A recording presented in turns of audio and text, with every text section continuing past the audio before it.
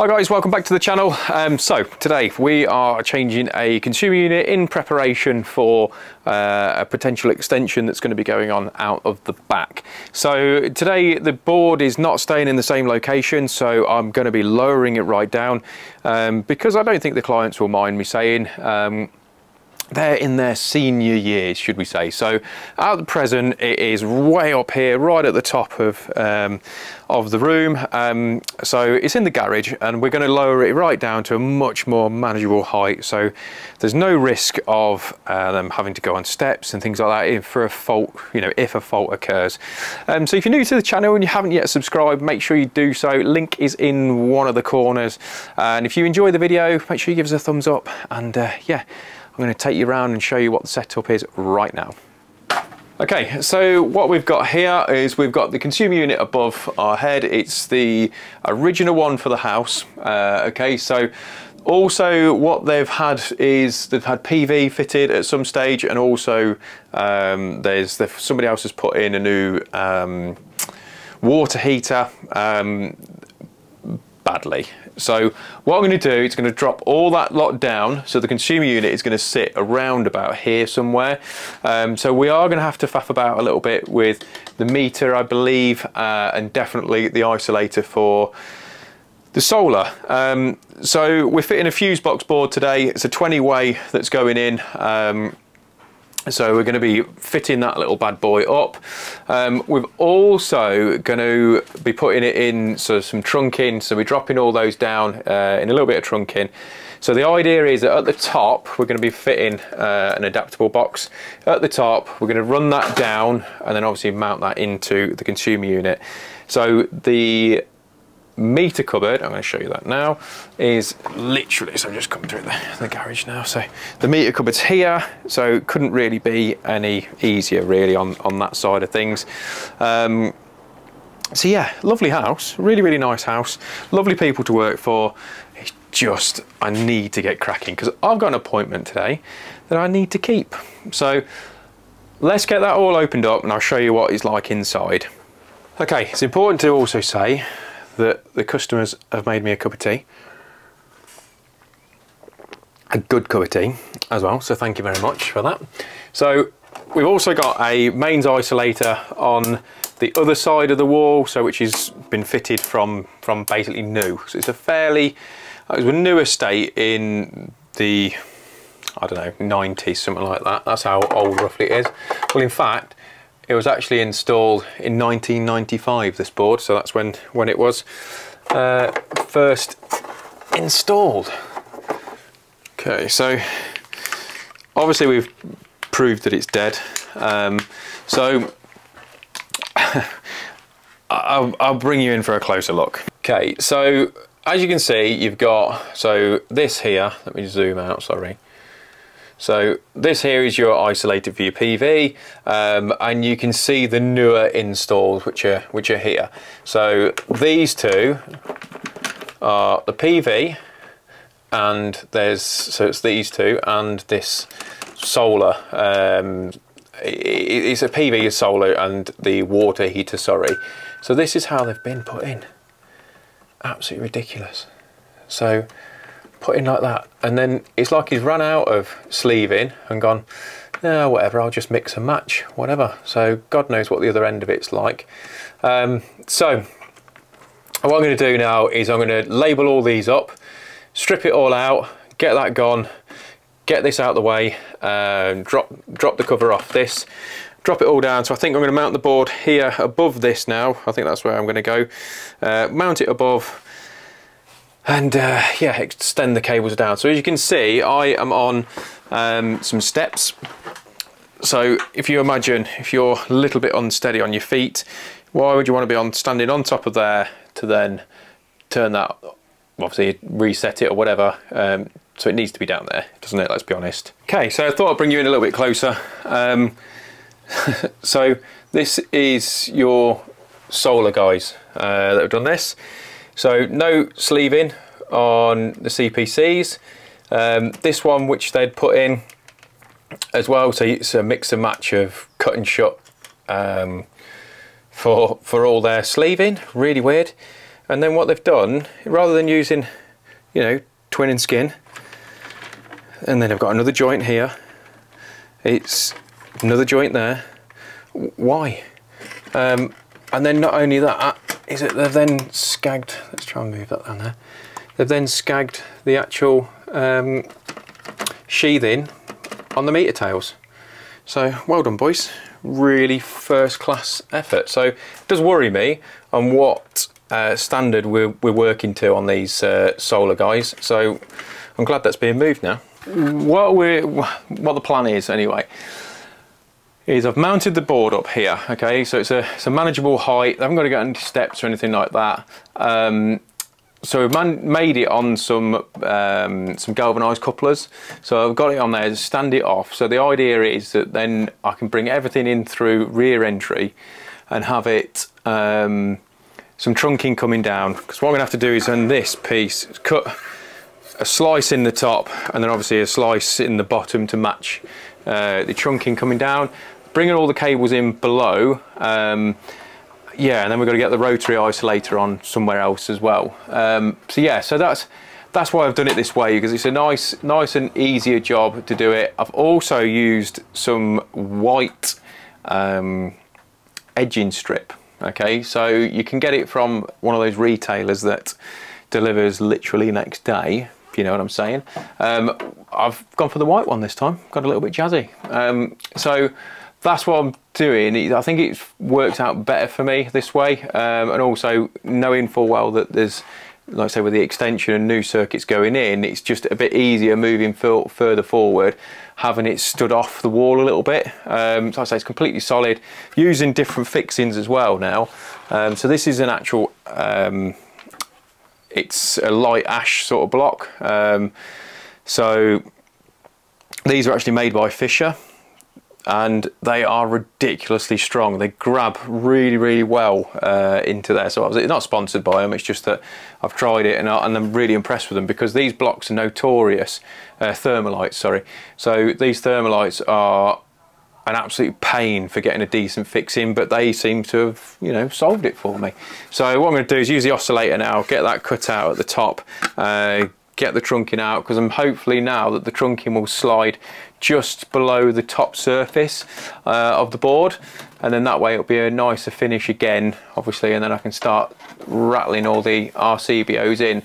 Um, so you might be wondering why I'm fitting this over a BG for example um, and purely the reason why is because I just couldn't get hold of one in time. My wholesaler had promised to get me one in uh, and they didn't and I needed it to, to happen straight away and they had one of these in stock. Um, but I, I like I said, I'm not going to move away completely from Fusebox, but BG are wicked. They really, really are good. So, like I say, they're on.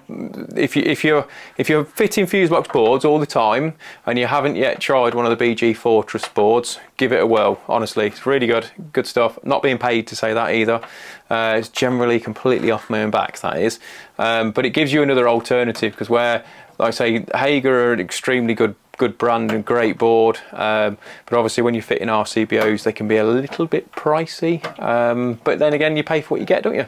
So like I say completely three they're my three board choices in fairness is BG Fusebox and Hager. Um, but I, not that often I fit Hager now just uh, on costing. That's all it is. Um, but yeah enough waffle. Better get this cut out and uh, get cracking.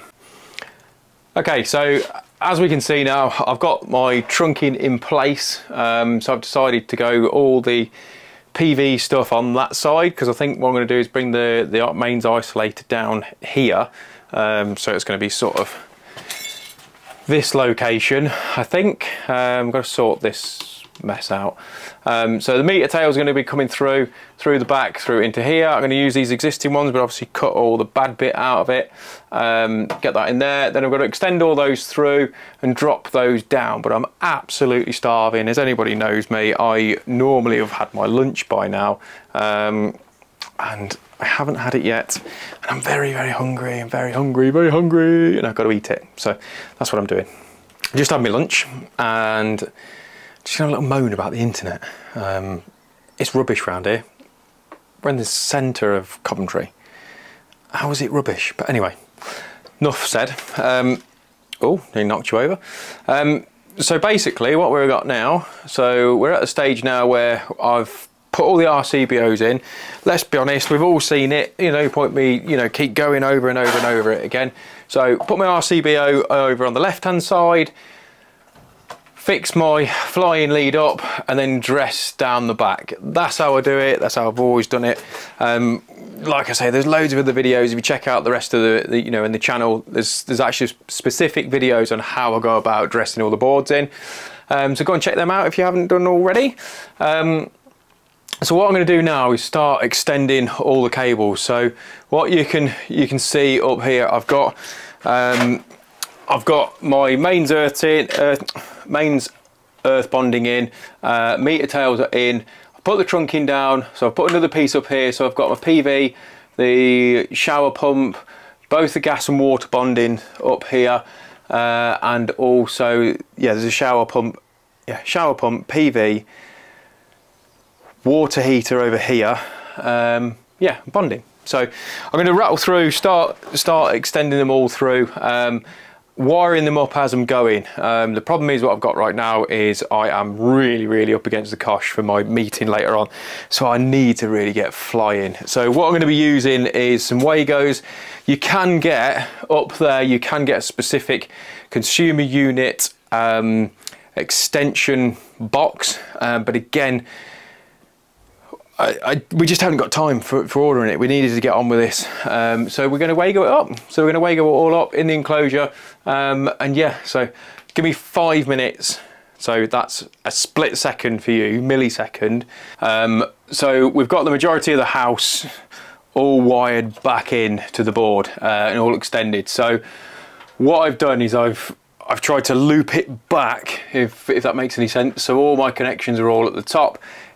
I yes, if you use the consumer unit extender kit, yes, it could be neater, but I've even seen those as being a right pain. I don't really see a different way of doing it, um, but that is what what we've done right now. So I need to fire seal all the top um, to make sure obviously we've got no transfer of of fire in that in that instance. Um, and then we've dressed in all in the bottom but I'll bring you in a closer look just so you can see all the trunking lid on here so what I've done is that's what I was saying. So I've swooped it down so it's not all completely tight. Um, so there's room to manoeuvre wherever I need to, and then I've got to fire, fire seal all these, move them out of the way and fire seal it. And then the next job for me is to extend my um, oh, water and gas bonding and then get this lot all sorted. But yeah, it's a lot going on. Full disclosure, um, I had to go off and do another job.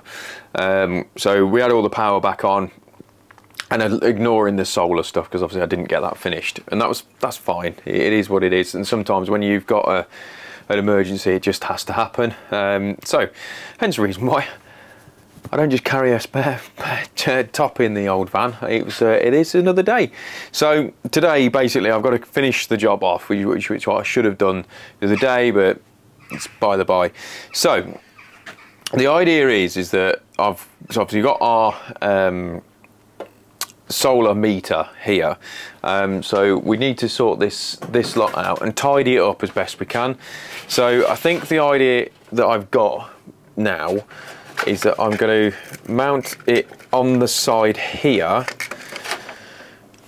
obviously leaving all these cables in place like that because that looks jazzy. Um, and try and tidy it up a little bit that way. Um, so I'm going to use a bit of Flexicon, I think, to get me up into the consumer unit up here. Um, and then this leg here, again, back in some Flexicon that we're going to run, run that back through and that essentially is going to go into the outside of your meter there. Um, that way it should be a little bit neater, less disruption or I might even be able to tuck that one back down here and then through this way because I've already got that um, rather than having all it all broken up like that. So that's my plan right now. So I'm going to get on with that. I'm going to get that mounted up and then finalise my testing. Um, I've got a couple of little tests to do. Um, also, the client said while I've been away, there's a, a light switch that's gone faulty. So, so there's like a smart switch that's packed up now. So yeah, so let's get that mounted up. right, I've genuinely just, just this split second after pressing record, I've just undone this. So hopefully I can zoom in a little bit. Okay, so right, hopefully you can see. So we're on on the meter and I've just undone that. And yet again, this solar install has not been done great at all. So let me bring this in. So this is how it's been installed. So hopefully that focuses in okay. It's just rubbish. It really is bad. And I don't want to go too mad about it. It's just st stupid. I mean, they've not even doubled them over. I mean, like I said, there's bigger things in the world, problem-wise, but I mean, it's just not great. But I was at the installer show the other day and I was chatting to the NIC there and I'll, I'll be honest with you, like when you, when you actually see some of the installs that, that people do on solar, it's quite scary. You think, why? Now I don't know. I don't know whether it's a case of that you've got um, that they sub all the work out to other people and they just come in and just go, oh, well, no one's going in the loft, they're not going to see it, who cares, or what? But it, it's, yeah, happens a lot, real lot. So what I'm going to do anyway, I'm going to get this tidied up and we'll, we'll jump back in in a second. Okay, so what I'm doing now is I always try and try and make a install better than what it was before, aesthetically as well as, as obviously electrically. Um, and also try and save money to the customer where you can. So, for example, like this uh, rotary isolator, there's nothing wrong with it really. I, the way I'm doing it now means that I don't have to change it. So I've just put a blank um, grommet in the side, so blank in there. So what I'm going to do is then bring the cables through that into that trunking that was already there, um, and then I'm just to, like I say, I'm going to put a bit of Flexicon in the top. So by doing it this way means I haven't got to then replace the whole thing at another expense, like I say to the customer, that they don't need to spend and buy another another um, another isolator for the sake of it. And like I say, because they've already paid for it once, and there's nothing wrong with doing it this way. I just think that obviously if we can save money where where we can, we will do. Um, I do enjoy as well making it look better and think they could have done that. They had everything there. Um, but, you know, such is life, isn't it? Um, so yeah, so I've drilled through at the minute. So let me try and turn that round to, to where we are now. So I've drilled through drill drill through i've got my fixings in like i said before i'm using these Fischer raw plugs that really really hold really really well on here so i've then dressed my cable in this way into the meter, um, put my trunking lid back on, and now what I'm going to do is also, is, which again is something that they didn't do before, is I'm actually then going to continue my CPC on into the rest of the installation. So Sorry, how... Could you say that again? Yes, I will. Um, so something else that's that was again another another issue that they hadn't continued the CPC through the entire installation. So mind blowing. Um, so yeah, so what I'm going to do, we'll get that get that mounted up. Um, I've got to turn turn all the power off because I've got to then put my supply for the isolator back into the board. So we'll turn all that off and get that all sorted. So, so yeah, so just just bear with me and I'll get that sorted because the client's at home and they need stuff to do so I can't faff about too long having the power off. Um, so I'll get that sorted and then I'll show you on the inside I think. Okay so we've got the um, cable back into the board now. Um, so we've got all that sorted. We've got the rotary isolator on um, and I think like I say, it's a lot better than what it was. So we used a bit of Kopex coming up. That's gone all the way back to where the rear uh, knockout is. So that's going to obviously, so I've got a continuous path all the way up to there. Uh, yeah, just much better. So all that's left to do now is just get the get the cover on on this. And we get the cover back on, and it's all taken care of. Then I've just got a few little tests to do.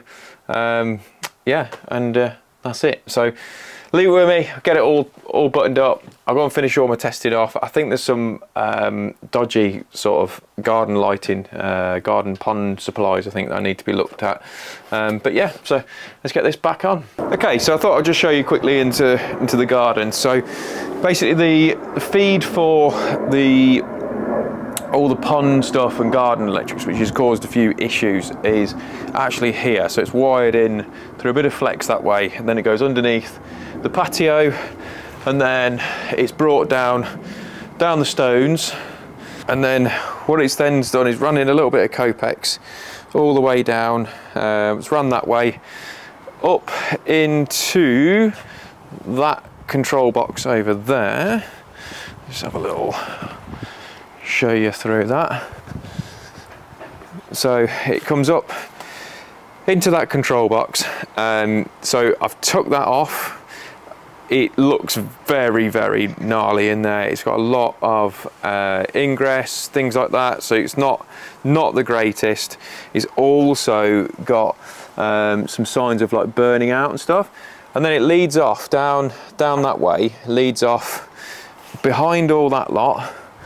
Then there's no Kopex whatsoever on all, all that bit that leads out into another control box up there. Um, so that one's worse than the first one. So let me go up here.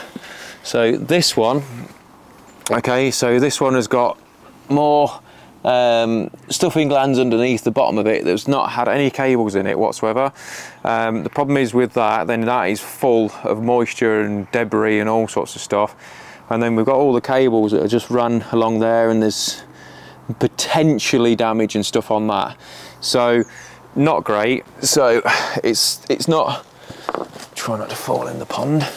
Um, not the greatest. So what we've done for now is I've isolated it off um, we've also sort of having a little conversation because we're in talks at the minute about doing an extension here. Um, so there's no point me ripping all that out if it's a case of well we're getting the diggers and all that sort of stuff, pond may go, all that sort of things. So, so yeah, so we're making those decisions as we're going, um, rather than spending loads of money on it for now, because that'd be stupid, wouldn't it? Um, so I'll quickly run through this now. So the board's all done and dusted, all finally tested up, labelled up, all ready to go. So I've just gone through with a client uh, about how to use all that, um, what happens in a fault condition, uh, all that sort of stuff and if there is an issue then obviously you can just give me a ring. Um, but yeah so hopefully you've enjoyed the video. Um, there's a couple of little bits as well just to to go over on here. So things like the bathroom lights two of them are non-IP rated um, so we need to change those and come back. Um, but yeah I just thought it would be a nice little video to show giving the client another option um, because obviously they're senior um, is not having the board right up at the ceiling anymore so they don't have to go on any ladders anymore and they can just turn it off from there. So hopefully you've enjoyed it and if you have make sure you've given us a thumbs up and don't forget to subscribe to the channel. So so many people who watch the, watch the videos and, and don't subscribe, don't get it. You know, but such is life. Thanks for watching. Take care. See you later.